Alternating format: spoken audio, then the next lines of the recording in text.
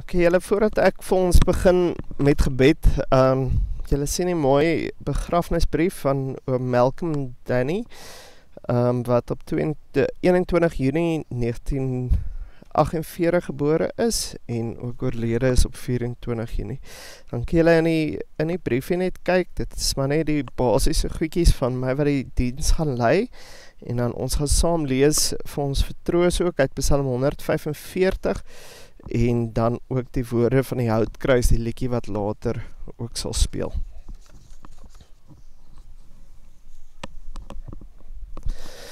Kom ons um, sit net so en dan gaan ek vir ons saam bid. Kom ons bid net saam.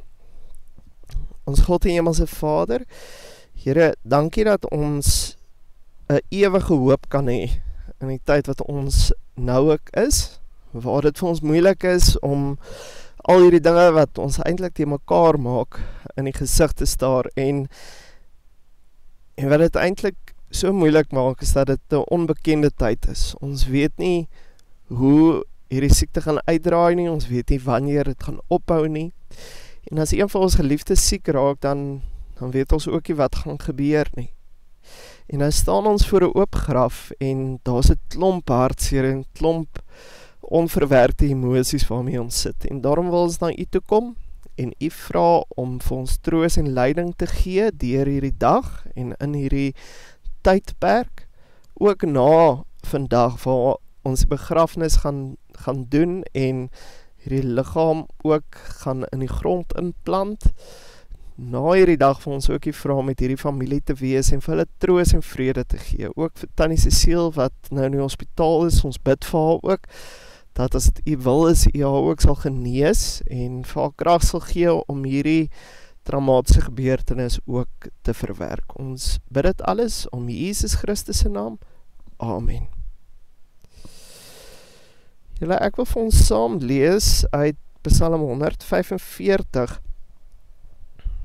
Psalm 145 ehm um, is vir my so gepaste psalm in in hierdie tyd om want hierdie psalmdigter gee eintlik vir ons 'n manier hoe om deur hierdie moeilike omstandighede te kom, deur trauma te kom en hierdie goeters ook te verwerk. So kom ons lees 'n bietjie saam Psalm 145 en dan gaan ons ook 'n bietjie daaroor gesels. 'n Loflied van Dawid.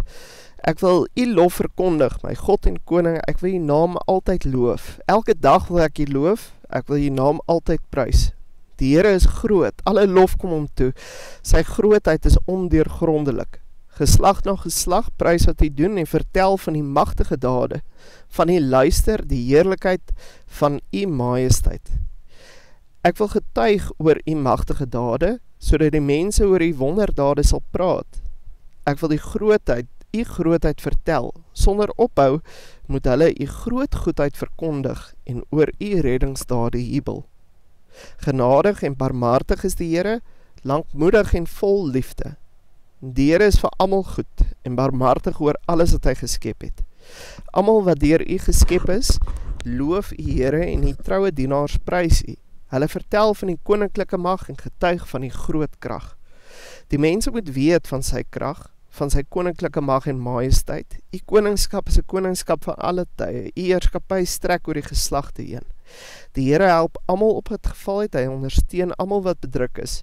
Die oë van almal is op U gerig en U gee hulle kos op hulle tyd. U maak U hand oop en skenk U guns in oorvloed aan al wat leef. Die Here is regverdig in alles al sy handelinge, getrou in alles wat hy doen. Die Here is naby almal wat hom aanroep, almal wat hom in opregtheid aanroep. Aan die wat hom dien, gee hy wat hulle vra. Hy hoor as hulle om hulp roep en hy red hulle. Die Here beskerm almal wat hom liefhet, maar al die goddeloses verdelg hy. Ek sal die lof van die Here verkondig, laat al wat leef sy heilige naam vir altyd prys. En weet julle, hierdie psalmdigter in die begin in vers 1 en vers 21 sê hy eintlik presies dieselfde ding. Hy sê ek wil die Here loof en prys. En dis nogal 'n vraag wat by my baie keer opkom. Hoe hoe bly ons die Here loof in 'n tyd waar dit met ons sleg gaan, in 'n tyd van 'n pandemie, in 'n tyd waar onverstaanbare dinge eintlik in jou lewe gebeur. Wat gee vir jou die oortuiging om nog steeds die Here te bly loof om om aan hom te bly vashou. En dit is wat hy hier eintlik so mooi vir ons verduidelik. Onthou die ou wat hierdie Psalm geskryf het, was Dawid gewees. So Dawid Ons weet nie presies in watter tyd van sy lewe hy hierdie Psalm geskryf het nie, maar hy het deur moeilike tye in sy lewe gegaan, nê. Ons weet van sy seun wat dood gegaan het, sy baba seentjie. Ons weet van Absalom wat ook sy seun is wat hom verwerp het. Absalom het gesê ek wil koning wees en en hy het sy pa uit die uit die stad uit verdryf. Dit moes vir hom baie traumaties gewees het. Um, hy het vir sy lewe gevlug. So Dawid het ook deur baie moeilike tye in sy lewe gegaan, nê. Nee. Ehm, um, maar tog hou hy nog steeds aan die Here vas en en die rede hoekom hy dit doen, verduidelik hy eintlik in hierdie Psalm vir ons. In vers 3 tot 10, hy hy sê eintlik drie redes hoekom hy aan die Here kan bly vashou. In vers 3 tot 10 sê hy hy bly aan die Here vashou as gevolg van sy dade in die verlede, omdat hy reddingsdade in die verlede gehad het. Vers 11 tot 16 vertel hy van die sorg van die Here oor alle dinge. Hy kyk na die wêreld om hom en hy sien die Here sorg vir alles en dis hoekom hy dan aan die Here vashou. In vers 17 tot 20 sê hy maar die Here sorg besonders vir sy kinders. Kom ons kyk net so vinnig op uh, um na al hierdie punte. In die eerste plek sê hy in vers 3 tot 10 hy wil die Here loof omdat die Here magtige dade in in die verlede gedoen het. Nou Dawid het heel moontlik toe hy daaraan gedink het, het hy gedink aan die geskiedenis en en gedink aan die volk wat byvoorbeeld uit Egipte uit getrek het en die Here wat hulle gered het of die Here wat dalk sy voorouers gered het. Maar in die geskiedenis kon hy sien hoe die Here sy volk gered het en dit het vir hom om laat besef maar as die Here in die verlede sy volk gered het, dan sal hy nou ook vir ons red. Dan sal hy ons nou ook beskerm. Weet julle soveel meer het ons troos, né? Nee, as mens dink aan Christus wat ons sondes vir ons sondes gesterf het, hy het ons reeds gered. Nou kan ons weet maar hy sal ook vir ons troos en vrede gee. Al al is ons in 'n pandemie, ons kan troos en vrede in die feit vind dat die Here ons Here is en dat hy ons deur hierdie tyd sal dra en nog steeds vir ons troos en vrede sal gee en dat ons natuurlik die ewige lewe ook ingaan as ons doodgaan. En dis ons troos. So in ons moeilike tye As jy deur trauma gaan of of deur 'n moeilike tyd in jou lewe, dink 'n bietjie aan die verlede, hoe die Here jou al deur jou lewe gelei het, hoe hy jou al verlos het, hoe hy by jou was en dan kan jy weet maar die Here sal ook in die toekoms by jou wees. Hy sal jou ook beskerm. Maar dis nie alwaar Dawid vashou nie. Hy sê in vers 11 tot 16 sê Dawid hy hy dien die Here omdat die Here regeer oor alles. En hy dink eh, die die woorde wat hy gebruik is hy hy dink aan die son wat skyn, dit reën, die Here wat kos gee vir almal en dit laat hom besef maar as die Here vir alles sorg, dan sal hy ook vir ons sorg. Ons kan dink aan Matteus 6 vers 30 byvoorbeeld, nê? Nee, dit sê eintlik dieselfde woorde waar die Here sê: "Kyk na die wilde voëls, hulle saai nie en hulle oes nie, hulle maak nie skure bymekaar nie. Julle hemelse Vader sorg vir hulle. Is julle nie baie meer werd as hulle nie?" So die Here sorg vir die voëls, hy sorg vir die diere. Hoeveel te meer sal hy nie vir ons sorg nie.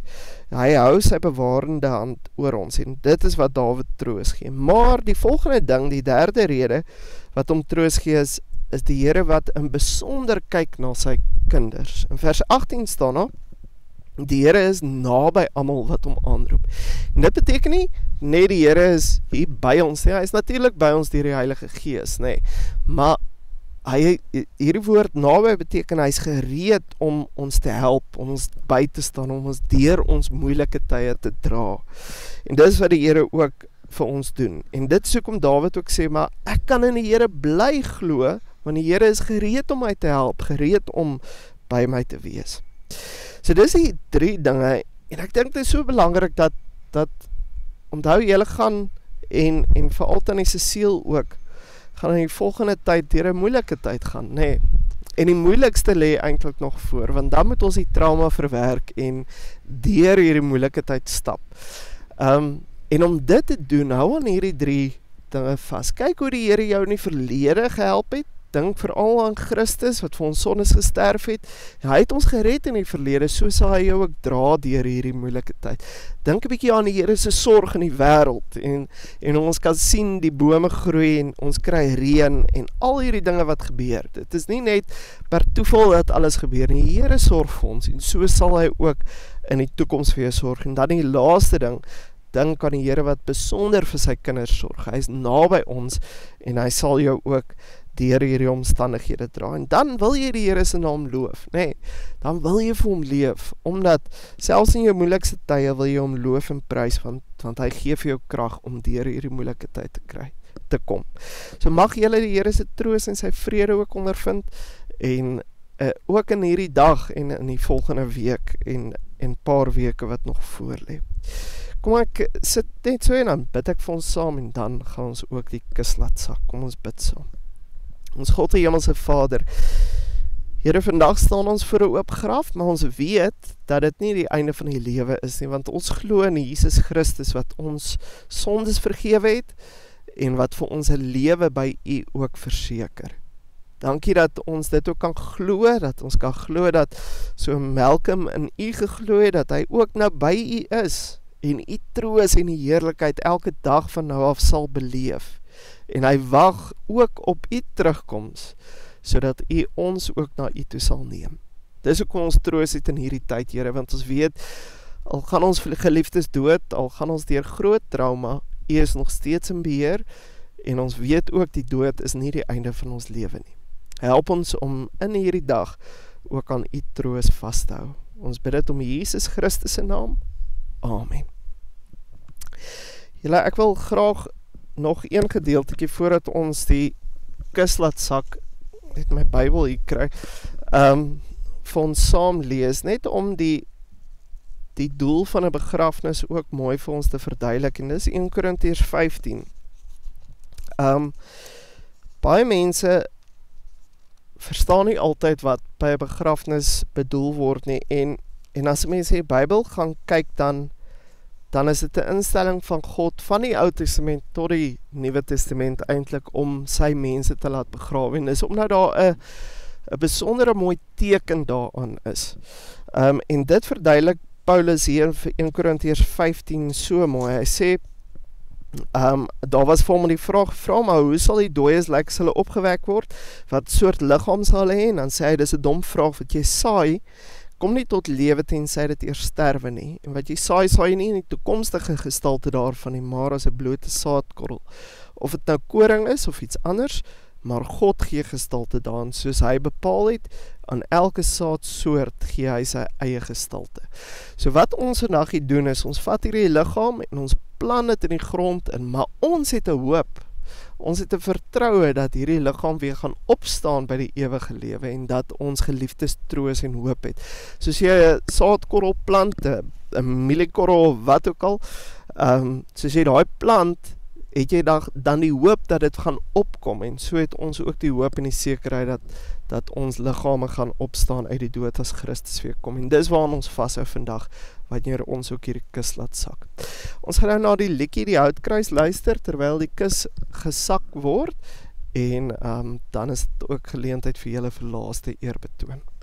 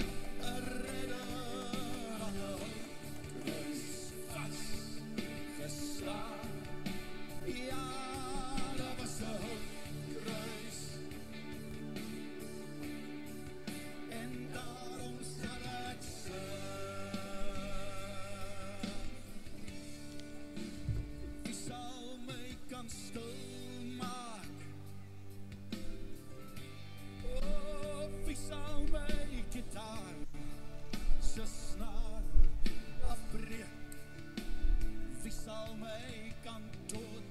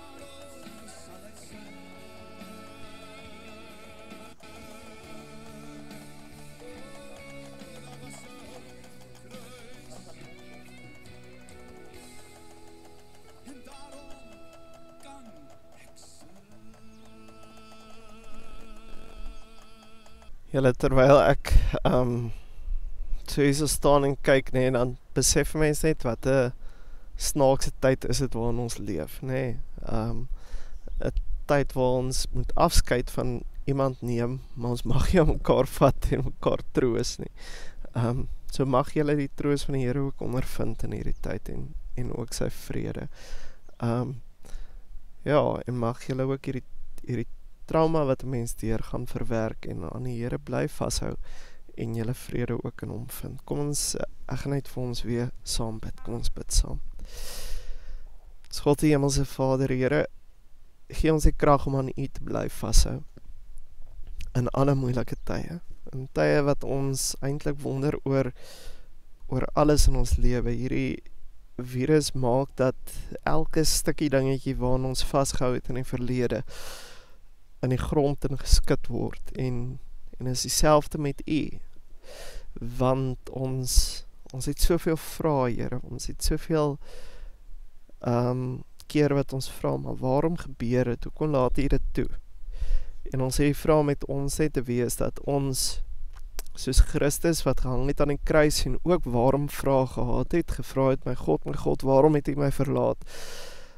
Maar dat ons aan u sal bly vashou en al verstaan ons nie alles nie, maar dat ons hierdie troos en hierdie hoop in ons lewe ook sal uitleef. Gaan asseblief met hierdie familie en Therese Siel wat in die hospitaal is dat hulle ook hierdie troos en vrede vandag en in hierdie week sal ervaar. Ons bid dit om Jesus Christus se naam.